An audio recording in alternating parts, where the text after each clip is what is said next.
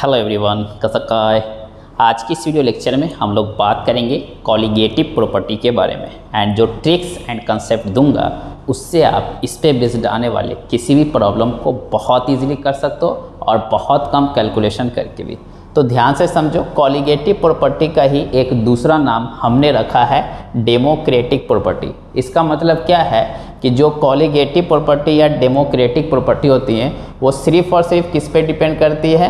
Number of solute particle पे। जो solute particle आप ऐड कर रहे हो, उसके कितने नंबर्स हैं, कितने आयंस हो जाते हैं ऐड करने के बाद, उस पर डिपेंड करता है। जैसे डेमोक्रेसी में वोटिंग इस बात पे डिपेंड करता है कि कितने आदमी ने वोट किया। वो आदमी बड़ा है, छोटा है, अमीर है, गरीब है, इससे फ़र्क नहीं पड़ता। वैसे ही यहाँ पे जो प्रॉपर्टीज़ हैं वो नंबर ऑफ़ पार्टिकल पे डिपेंड करेगा। वो पार्टिकल कौन है? सोडियम है पोटेशियम है क्लोराइड आयन है सल्फेट है डजेंट मैटर बात समझ में आ गई?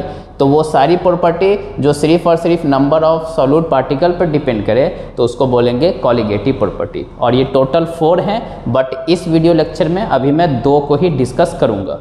ओके नाउ यहाँ पे एक पॉइंट क्लियर होना चाहिए कि जो सॉल्यूट आप ऐड करोगे, जो सॉल्यूट ऐड करते हो, वो एक्चुअली सॉलिड स्टेट में होता है। ऐड करने से पहले ऐड करने के बाद आपको मालूम है, वही फ़ेज़ हो जाएगा उसका जो सॉल्वेंट का होता है। तो सॉल्वेंट का फ़ेज़ हमारा यहाँ पे लिक्विड है, इसलिए फाइनली वो सॉल्यूशन लिक्विड स्टेट में आ जाएगा। तो ये पहला पॉइंट क्लियर होना चाहिए।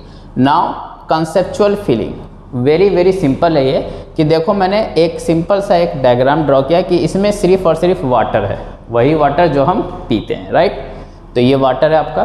तो आपको मालूम है कि वाटर का जो बॉइलिंग पॉइंट होगा प्योर वाटर का, जब वाटर में आपने कुछ भी ऐड नहीं किया है राइट तो वो कितना होता है? हंड्रेड डिग्री सेल्सियस ये क्वेश्चन में मेंशन नहीं होगा। ये बाय डिफ़ॉल्ट सबको याद रहता है, आपको याद रखना है। दे दिया तो बहुत अच्छी बात है। या कैलविन में बात करें तो 373 कैलविन होता है। तो ये हो गया वाटर का बॉइलिंग पॉइंट ये नॉट लगाने का मतलब क्या है? प्योर प्योर का मतलब क्या हो गया? कि आपने अभी उस सॉल्वेंट में कुछ भी ऐड नहीं किया। अदर कोई सॉल्वेंट होंगे तो उसका बॉइलिंग पॉइंट आपको दे देगा, आपको रटने की ज़रूरत नहीं है। वैसे ही टी नॉट एफ़ कहीं पे लिखा है, इसका मतलब क्या है? फ्रीजिंग पॉइंट एफ़ पी बोले तो freezing point of pure water right अगर कोई दूसरा सॉल्वेंट होगा तो सॉल्वेंट हो जाएँगे। नॉट जहाँ पे लगा मतलब प्योर उसमें कुछ ऐड नहीं किया। है वाटर के केस में आपको याद रखना है ज़ीरो डिग्री सेल्सियस होता है, या फिर टू सेवेंटी थ्री कैलविन ये आपको याद रखना। है वाटर एक यूनिवर्सल सॉल्वेंट है, इसलिए उसका ये दोनों चीज़ याद रखना। है एक पॉइंट का और ध्यान रखना है, कोई भी लिक्विड ध्यान दे एनी लिक्विड कोई भी लिक्विड तभी बॉयल होता है जब उस लिक्विड का वेपर प्रेशर उस लिक्विड का वेपर प्रेशर सराउंडिंग के प्रेशर के बराबर हो जाता है। और सराउंडिंग जनरली हमारा एटमॉस्फेयर होता है राइट तो जब सराउंडिंग का प्रेशर और लिक्विड का वेपर प्रेशर इक्वल हो जाएगा, तभी वो लिक्विड बॉयल होता है। ये पॉइंट वेरी वेरी इंपॉर्टेंट है, ध्यान में रखना है राइट नाउ अब मैं क्या कर रहा हूँ? ये जो प्योर वाटर था, इसमें मैंने सॉल्यूट ऐड कर दिया है। ये जो रेड कलर है, वो सॉल्यूट है सॉल्यूट ऐड कर दिया है। तो क्या होगा? तो बॉइलिंग पॉइंट जो हो जाएगा सॉल्यूशन का, उसको मैं टीवी से रिप्रेजेंट कर रहा हूँ। बॉइलिंग पॉइंट सॉल्यूशन का, क्योंकि सॉल्यूट प्लस सॉल्वेंट आ गए, तब ये सॉल्यूशन हो गया। तो इस सॉल्यूशन का बॉइलिंग पॉइंट को टीबी से, और डेफिनेटली ये जो टीबी है बॉइलिंग पॉइंट ये प्योर जो सॉल्वेंट होंगे, उसके बॉइलिंग पॉइंट से ज़्यादा होगा। इसलिए हम एक टर्म डिफाइन करते हैं डैट इज़ एलिवेशन क्योंकि ज़्यादा हो गया। एलिवेट मतलब high right elevation in boiling point जिसको मैं बोल रहा हूँ अपनी तरफ़ से चेंज इन बॉइलिंग पॉइंट भी आप बोल सकते हो। That is delta T B और ये कैसे डिफाइंड होगा? तो क्लियरली है, चूँकि ये बड़ा है तो T B minus T naught B right और चूँकि ये चेंजेज है तो चाहे डिग्री सेल्सियस में निकालो या कैलिन में, दोनों सेम आएँगे। तो ध्यान दे, ये जो एलिवेशन इन बॉइलिंग पॉइंट है, ये आपका कॉलिगेटिव प्रॉपर्टी है। ध्यान रहे, सिर्फ़ बॉइलिंग पॉइंट कॉलिगेटिव प्रॉपर्टी नहीं है elevation in boiling point that is ये डेल्टा टी बी ये आपका कॉलिगेटिव प्रॉपर्टी है। ये सिर्फ़ और सिर्फ़ नंबर ऑफ़ सॉल्यूट पार्टिकल पर डिपेंड करेगा। सिर्फ़ टी बी या टी नॉट बी की बात हम नहीं कर सकते। बात समझ में आ गई? तो only boiling point is not a colligative property change in boiling point या elevation in boiling point is a colligative property graphical question भी आते हैं। वाई एक्सिस पे वेपर प्रेशर ले लिया। एक्स एक्सिस पे टेम्परेचर और ये आपको दो कर्व ड्रॉ कर देगा। और पूछा जाएगा कि इसमें कौन सॉल्वेंट है? कौन सॉल्यूशन है? तो वेरी सिंपल है। ध्यान से देखो। आपको क्या करना है? एक लाइन ड्रॉ करना है। Parallel to axis one ATM वाली। जो सराउंडिंग एटमॉस्फेयर होंगे और वो जहाँ जहाँ पे कर्व को कट करेगा। वी नो कि सॉल्यूशन का बॉइलिंग पॉइंट ज़्यादा होगा तो एक्स एक्सिस पे टेम्परेचर है, इसलिए ज़्यादा वाला टेम्परेचर सॉल्यूशन को बताएगा, इसलिए ये कर्व सॉल्यूशन का हो गया और पहला वाला कर्व सॉल्वेंट का तो आइडेंटिफाई करवा सकता है आपको तो इस पॉइंट का ध्यान रखना नेक्स्ट अगर वाटर में आपने या किसी सॉल्वेंट में आपने सॉल्यूट ऐड कर दिया, यहाँ पे ब्लू कलर वाले सॉल्यूट हैं तो अब जो फ्रीजिंग पॉइंट होगा, उसको बोलेंगे फ्रीजिंग पॉइंट ऑफ़ सॉल्यूशन क्योंकि इसमें सॉल्यूट प्लस सॉल्वेंट दोनों हो गए राइट और यहाँ पे क्या होगा, जो फ्रीजिंग पॉइंट सॉल्यूशन का होगा, वो प्योर सॉल्वेंट से कम हो जाएगा। इसलिए वर्ड हम यूज़ करेंगे depression right depression in freezing point या इसी को चेंज इन फ्रीजिंग पॉइंट बोल सकते हैं। और वो कैसे डिफाइन करोगे? तो चूँकि कम हो गया, इसलिए डेल्टा टी एफ़ कैसे डिफाइंड होगा? प्योर माइनस जो सॉल्यूशन का होगा राइट ताकि ये क्वांटिटी पॉजिटिव बन जाए और again change in degree Celsius और कैलियन में सेम रहेगा। तो ये जो डिप्रेशन इन फ्रीजिंग पॉइंट है अगेन ये एक कॉलीगेटिव प्रॉपर्टी है delta T F is a colligative property सिर्फ़ टी एफ़ या टी नॉट एफ़ या फ्रीजिंग पॉइंट कॉलीगेटिव प्रॉपर्टी नहीं है। अगेन इसके ग्राफ की बात करें तो वेपर प्रेशर वाई एक्सिस पे टेम्परेचर एक्स एक्सिस पे लेंगे। ये इस तरीके से कर्व होगा। तो ये जो ब्लैक कलर वाले हैं, वो लिक्विड सॉल्वेंट का है और एक हम सॉल्यूट सॉल्वेंट का कर्व ड्रॉ करेंगे। Definitely we note T naught F जो होगा वो बड़ा होगा राइट इसलिए वो एक्स एक्सिस पे आगे की तरफ़ आएगा। तो ये जहाँ पे कर्व को कट करेगा, ये आपका सॉल्वेंट का हो गया और इधर वाला, ये वाला कर्व जो हो जाएगा वो सॉल्यूशन का हो गया। टी एफ़ इसमें पीछे रहेगा टी नॉट एफ़ आगे रहेगा जबकि इसमें टी नॉट भी पीछे रहेंगे टी भी आगे रहेगा। तो बिल्कुल भी रटने की ज़रूरत नहीं है। प्रैक्टिकल फीलिंग बिल, बिल्कुल क्लियर है बेटा आपको कि वाटर में या किसी भी सॉलेंट में सॉल्यूट ऐड करोगे तो बॉइलिंग पॉइंट बढ़ जाएगा फ्रीजिंग पॉइंट कम हो जाएगा। बस इतना ध्यान रखना है। राइट नाउ एक वर्ड होता है कॉलिगेटिव प्रॉपर्टी में कि normal colligative property and abnormal तो ये क्या है? वेरी सिंपल एक आई हम डिफाइन करते हैं. That is abnormal by normal कुछ बच्चे कंफ्यूज रहते हैं, उसके लिए सिंपल है. आई जो है वो अल्फ़ाबेट का वोवेल है. उसके आगे एन वर्ड लगाते हैं राइट इसलिए एन वर्ड से याद रखेंगे. एबनॉर्मल बाय नॉर्मल तो इसलिए यहाँ से जो आप ध्यान से देखो एब नॉर्मल किसके बराबर हो जाएगा? आई इंटू नॉर्मल तो हम क्या करेंगे? सब में आपको नॉर्मल जो कॉलिगेटिव प्रॉपर्टी होंगे, वो बता कर करके एब नॉर्मल निकालना होगा तो सिर्फ़ क्या करना उसको? आई से मल्टीप्लाई कर देना और इस आई का नाम है वॉन्ट ऑफ़ फैक्टर इसको कैसे कैलकुलेट करेंगे? इसके बारे में बात करेंगे। तो ये बात क्लियर हो गई होगी राइट अब हम बात करते हैं कि इन दोनों का कैलकुलेशन कैसे करेंगे। नाउ कंसेप्चुअल ट्रिक तो right elevation in boiling point तो डेल्टा टीबी से डिफाइन किए थे, ये हो जाएगा i van't Hoff factor into K B एक कांस्टेंट है इंटू मोरालिटी और डेल्टा टी क्या था? T B minus T naught B यहाँ पे जो ध्यान देने वाली बात है टी नॉट बी तो फिक्स हो गया right that is boiling point of pure solvent ये फिक्स हो गया. तो हम, मैं कह सकता हूँ, अगर डेल्टा टी बी की वैल्यू इंक्रीज होगी तो ये तभी हो सकता है जब टी बी इंक्रीज हो, क्योंकि ये तो फिक्स है, ये बढ़ेगा तभी डेल्टा टी भी इंक्रीज होंगे। तो एक पॉइंट तो ये है राइट और ये कब बढ़ सकता है? ध्यान से देखो, डेल्टा टी भी कब बढ़ सकता है? क्योंकि के भी एक पर्टिकुलर सॉल्वेंट के लिए फिक्स हो जाएगा कांस्टेंट है। आई और एम पे डिपेंड करेगा। तो जब आई इंटू एम की वैल्यू इंक्रीज होगी, अगर मोलालिटी को भी सेम कर दिया क्वेश्चन में तो फिर जिसका आई ज़्यादा होगा, उसका डेल्टा टी भी ज़्यादा होगा। That means boiling point of solution बढ़ेगा इस टाइप से। तो ये वेरी वेरी इंपॉर्टेंट है, इस पर बेस कई बार क्वेश्चन पूछे जाते हैं। यहाँ पे जो के बी है, वो सॉल्वेंट का एक कांस्टेंट है। वाटर के केस में आपको याद रखना है पॉइंट फाइव टू कैलविन के जी पर मोल यूनिट हो गया। कैलकुलेशन को ईजी करने के लिए पॉइंट फाइव ले सकते हैं हम, या हाफ़ ले सकते हैं राइट ये के बी इंटू एम अगर मैं करता तो ये delta T B equal to K B into M तो ये नॉर्मल कॉलिगेटिव प्रॉपर्टी होता, और आई से मल्टीप्लाई कर दिया तो अभी बताया था ये एब नॉर्मल में आ जाएँगे। तो यहाँ तक क्लियर होना चाहिए। यहाँ पे के बी निकालने के और एक तरीके हैं। सिर्फ़ ये फार्मूला ध्यान में रखना, इस पर बेस कोई प्रॉब्लम नहीं पूछा जाएगा। जस्ट वेरिएशन वाले पूछे जा सकते हैं। जैसे K B is directly proportional to ध्यान से देखो तो जो बॉइलिंग पॉइंट प्योर सॉल्वेंट का है, उसके स्क्वायर के डायरेक्टली प्रोपोर्शनल है। मॉलिकुलर मास ऑफ़ सॉल्वेंट के डायरेक्टली प्रोपोर्शनल है और जो इंथैल्पी ऑफ़ वेपराइजेशन है, उसके इन्वर्सली है। तो इसलिए इस फॉर्मूले को थोड़ा ध्यान में रखना है, किसके डायरेक्टली और किसके इन्वर्सली पूछा जा सकता है। यहाँ पे जो के बी है, उसके डिफरेंट नेम हो सकते हैं, उसी को मोलल एलिवेशन कांस्टेंट बोलते हैं, या फिर इबिलियोस्कोपिक कांस्टेंट भी बोलते हैं।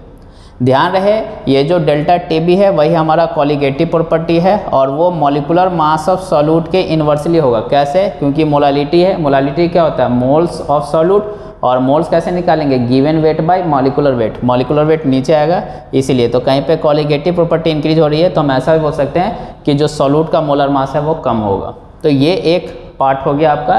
That is elevation in boiling point जब वाटर में या किसी सॉल्वेंट में कोई भी सॉल्यूट ऐड करोगे तो बॉइलिंग पॉइंट इंक्रीज हो जाएगा।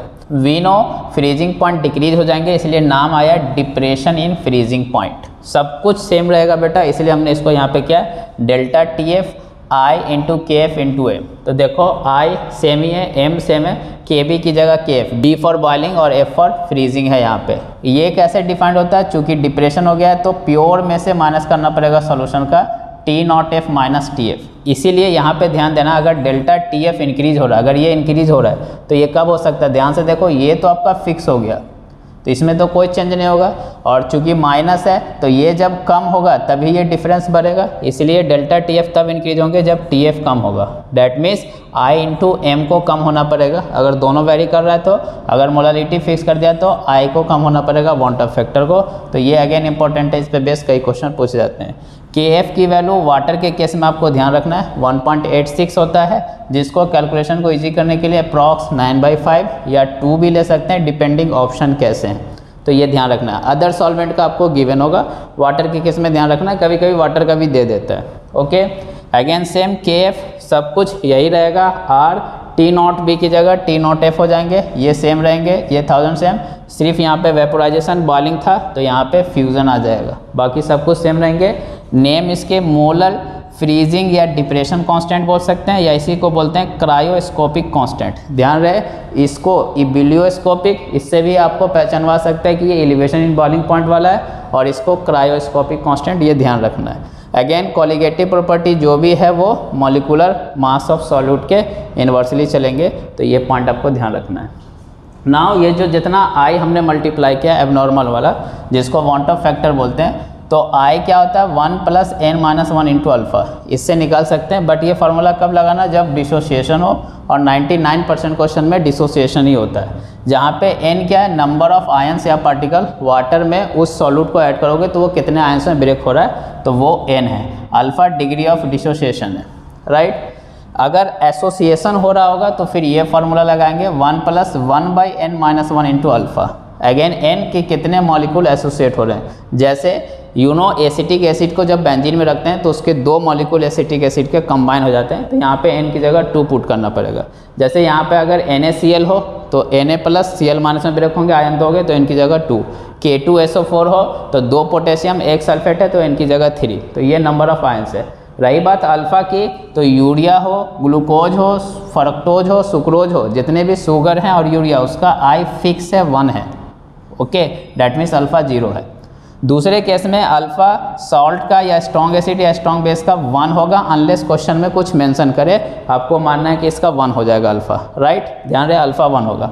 और वीक एसिड या वीक बेस या जो भी वीक सॉल्ट होंगे तो उसका अल्फ़ा आइदर गिवन होगा या आपको बोला जाएगा फाइंड आउट करने को तो आप यहाँ से फाइंड आउट कर सकते हो।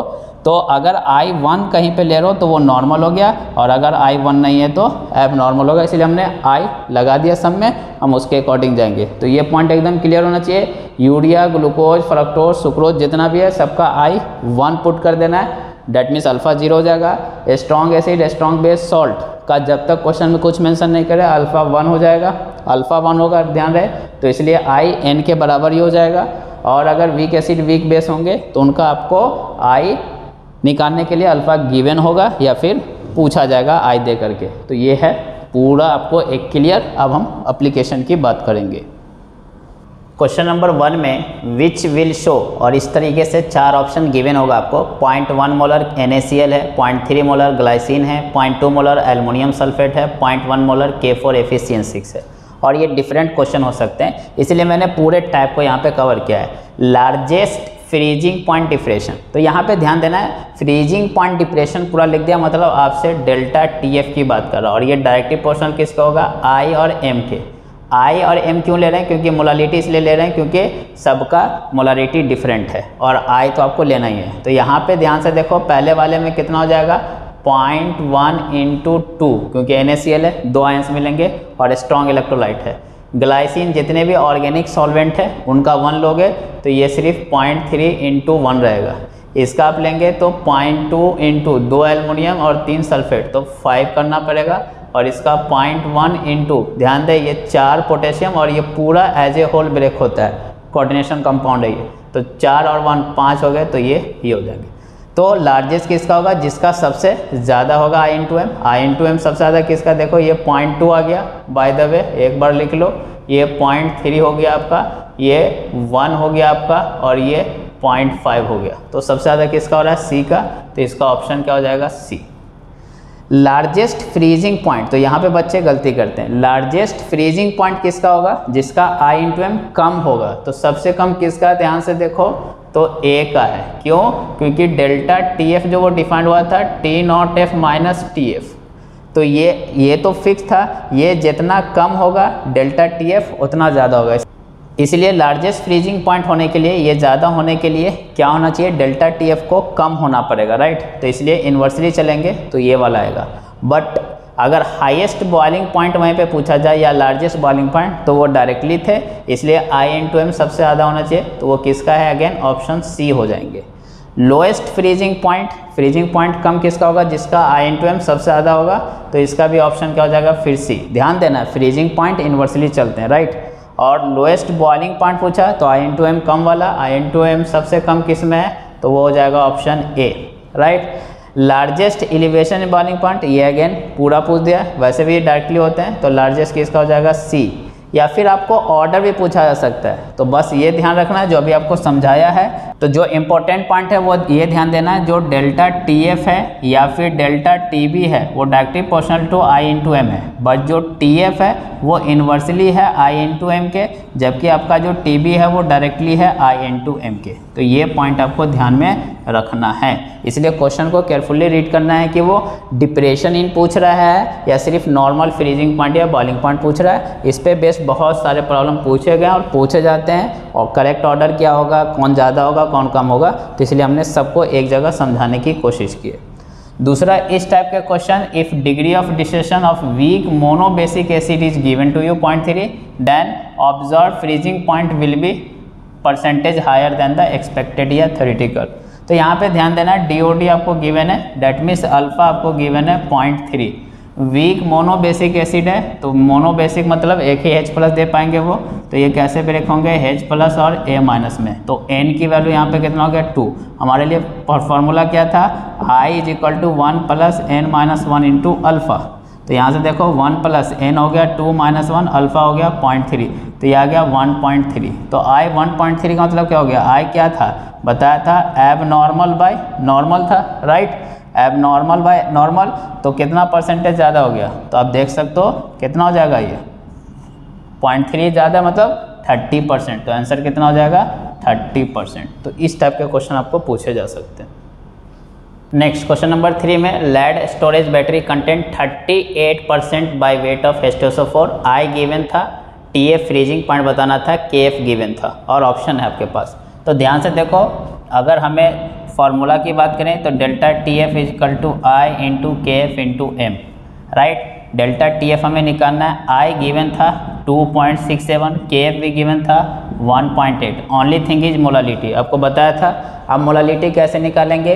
तो यहाँ पे ध्यान से देखो तो 38 परसेंट बाई वेट इसका क्या मतलब है? 38 percent weight by weight right इसका मतलब क्या हो गया? परसेंट मतलब कि 100 ग्राम अगर आपने सॉल्यूशन का लिया तो उसमें 38 ग्राम आपका सॉल्यूट है तो इसका मतलब 62 ग्राम कौन हो जाएँगे? सॉल्वेंट अब हमें मोलालिटी स्मॉल एम निकालना है तो ये कैसे निकालते हैं? तो 38 eight by ninety eight हेस्टेस of four moles of solute by mass of solvent किसमें चाहिए? ग्राम में तो 62 टू बाई थाउज़ेंड अब इसको देखो अप्रॉक्स कैलकुलेशन कैसे करेंगे? 38 को 40 ले सकते हो 98 को 100 ले सकते हो डिवाइडेड बाय 62 को 60 और ये 1000 तो ये अप्रॉक्स में आ जाएगा यहाँ पे 6 कैसे? ध्यान से देखो, एक ज़ीरो से एक ज़ीरो कैंसिल राइट ये ज़ीरो से ये ज़ीरो कैंसिल ये भी ज़ीरो से ये ज़ीरो कैंसिल 40 बाई सिक्सटी तो 6.6 समथिंग आएगा, मैं 6 लेके चल रहा हूँ. अब यहाँ पे आपको मोलालिटी पुट कर देना है। तो ध्यान से देखो इन टू ये सिक्स पॉइंट समथिंग है अप्रॉक्स में सिक्स ले रहा हूँ। ध्यान से देखो तो ये टू पॉइंट फाइव और इसको टू ले सकते हैं। ये टू पॉइंट फाइव और ये टू राइट तो ये कितना हो गया?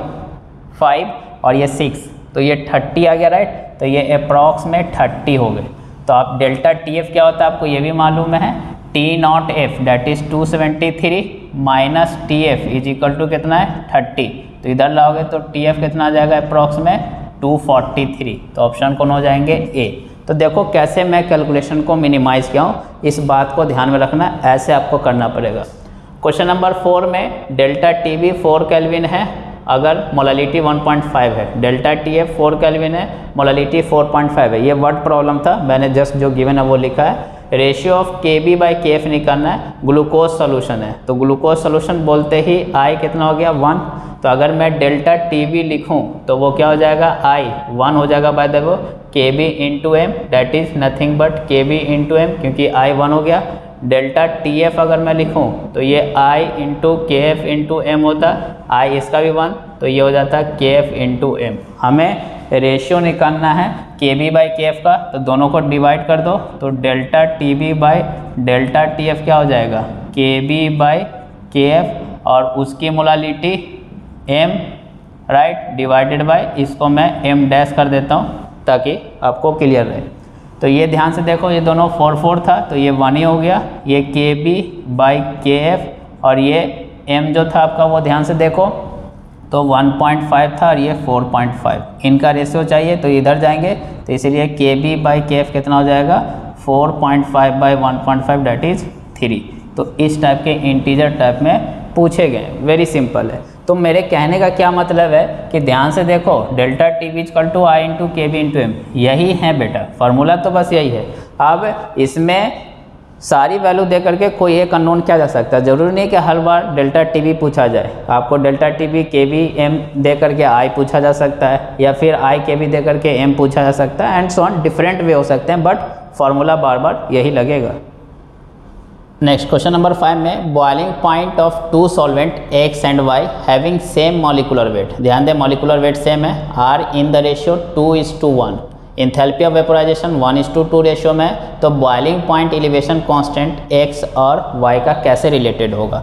तो यू you नो know, जो फार्मूला था हमारे पास के बी इज़ इक्वल टू क्या था? आर टी नॉट बी का square molecular mass of solvent right divided by thousand into delta H vaporization ये क्वेश्चन उसी से रिलेटेड है।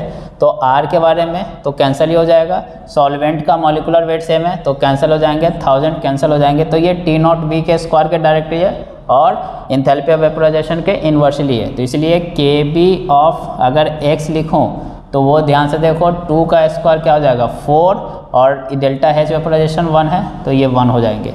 और K B divided by K B of Y लिखें तो राइट वो क्या हो जाएगा? तो वन का स्क्वायर तो वन ही हो जाएगा और वो टू ऊपर चले जाएँगे तो कितना हो जाएगा? एट तो इस टाइप से पूछा जा सकता है तो एम की वैल्यू यहाँ पे कितना हो जाएगा?